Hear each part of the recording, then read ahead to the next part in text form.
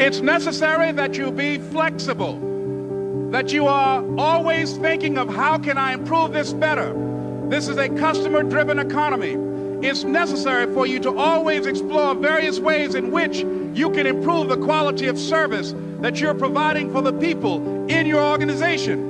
I remember something a major company had talked about the extra value service they were providing for their customers. And the lady who had the news conference summarized it this way. She said, it's not our intention to satisfy our customers or to please our customers. Our intention is to amaze them.